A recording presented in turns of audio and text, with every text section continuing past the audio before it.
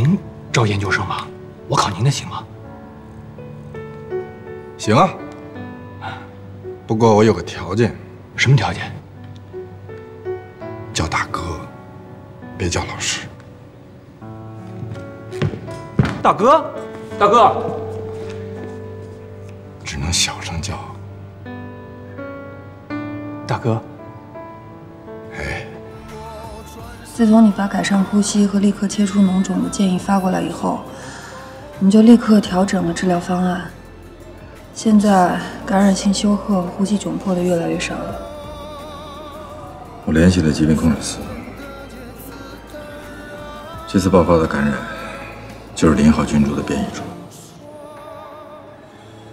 北京疾控中心微生物组刚刚提出的四种已经停用十年的抗生素的联合用药，应该可以起效。当时杨帆阻止你调查，还好你没有轻易放弃。子轩和杨宇的情况怎么样？还好，他们还好，目前没有生命危险。虽然重症肺炎，氧分压下降，但是上了呼吸机以后都有所好转，没有发生脓血症和电解质紊乱。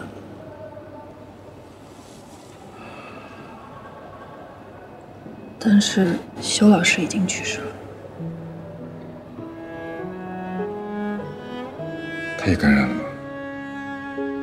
爆发的第三天，他和傅老师一起抢救一个呼吸困难的患者，吸引器坏了，患者窒息。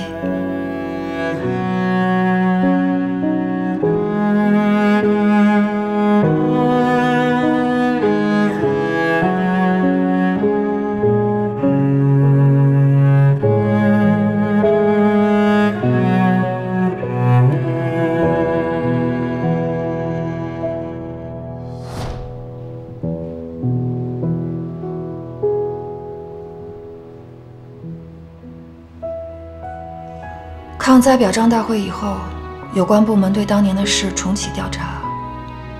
修老师在进疫区前给调查组写了一封信，承认了他当年做过的所有事情，包括串通傅博文、修改取药单据、欺骗调查组、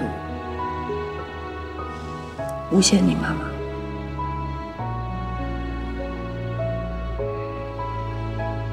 谢谢你，何傅老师。我本来想等调查结果出来以后再告诉你。傅老师说这对你的抑郁症是一剂良药，没想到调查被感染给打断了，所有人都在忙着抢救，看着同事们一个一个倒下去，我当时特别害怕，特别想给你打个电话，但又不想你回来。我想。有一天，等一切都平静下来了，我到美国去找你。我想当面把这件事情。我们结婚吧。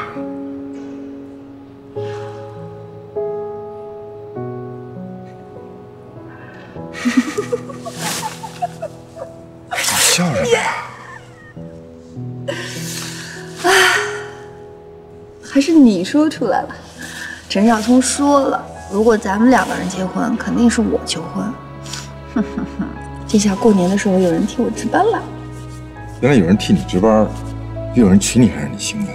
少岔开话题，说，你这次回美国都干嘛了？从来不给我主动打电话的，都是我给你打，你也不联系我一下。要是没这事，你是不是就不回来了？你回来还走吗？我跟你说啊，我爸我妈催我不是一天两天了，我把所有能用的理由都用光了。你要是再不回来，他们怀疑你跟杨东好了。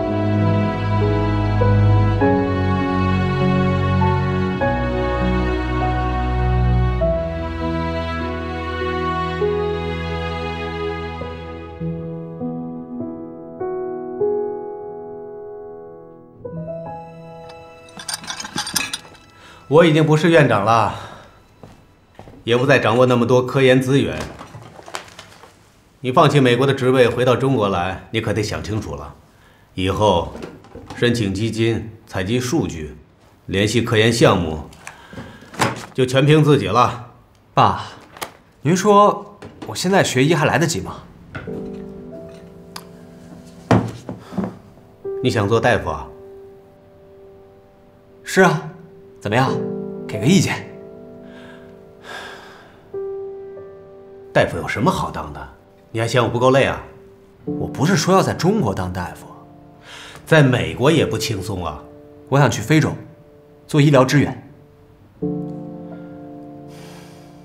哼，好，选了个最累的，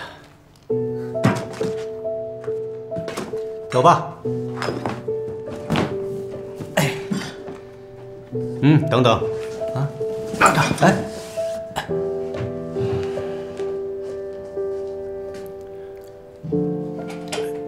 爸，这合适吗？哼你父伯伯说了，送给我了。走，快点。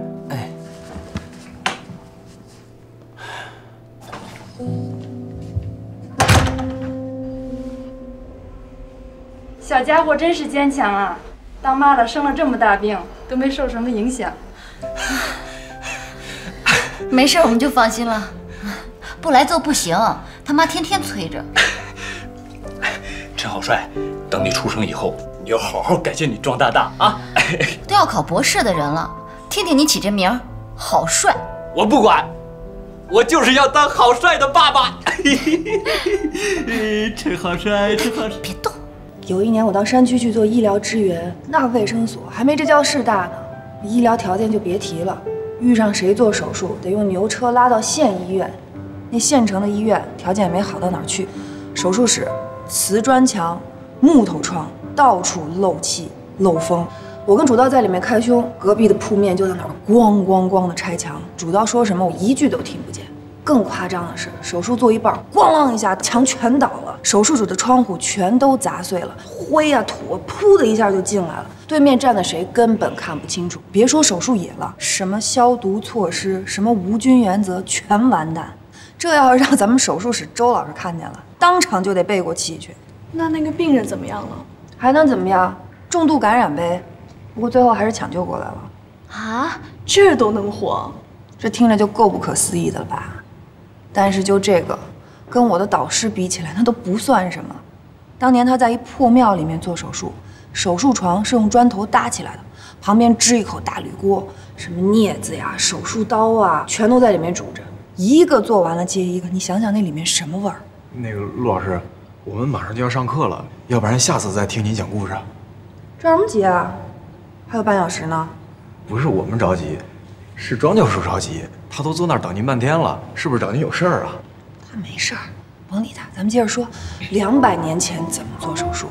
你们想想，没有消毒，没有麻醉，没有抗生素，让你们拔牙，你们都不敢拔。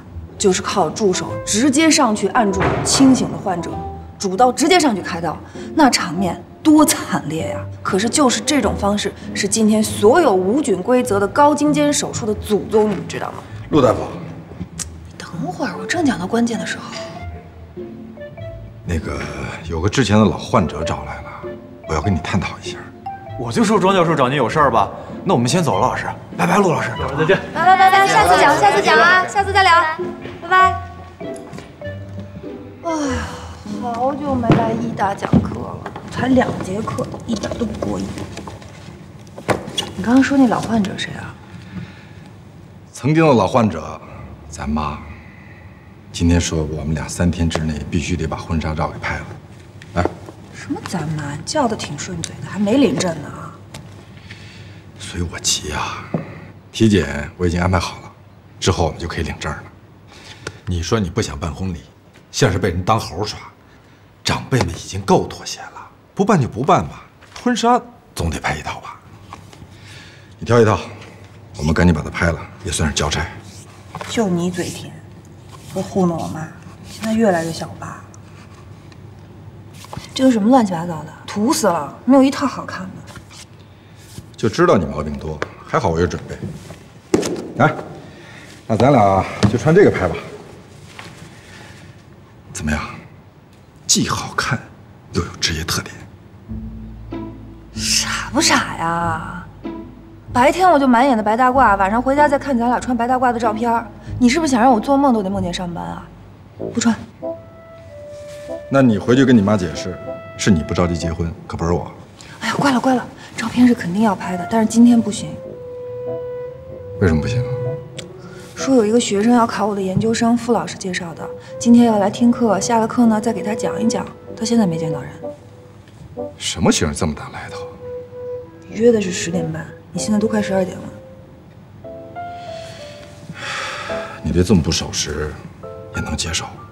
得得得得得，我就是不等人，我今天也不想拍照片。我饿了，我要去吃饭了。回头跟傅老师说说，这么没有时间观念的学生踢了得了，考什么研究生？没错。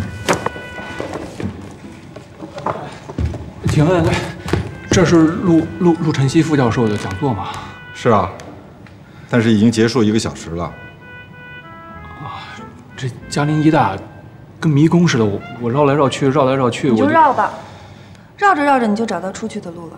啊！我我刚也担心我找不着出去的路，不过我想我总能绕出去的。你还挺能顺杆爬的你，你就是那个胡胡胡什么啊，来着？我叫胡歌，我是上海来的。哎您叫陆教授吧？对不起啊，我今儿迟到了。不过见到您我还是很高兴的。我看你要别叫胡歌了，你叫糊涂吧。我哥叫糊涂。这人和新人的质量真是越来越差了。就这个王峰教授的高材生，考你研究生差不多。陆教授，老师，您招研究生吗？我考您的行吗？行啊，不过我有个条件，什么条件？叫大哥，别叫老师。大哥，大哥，只能小声叫。大哥，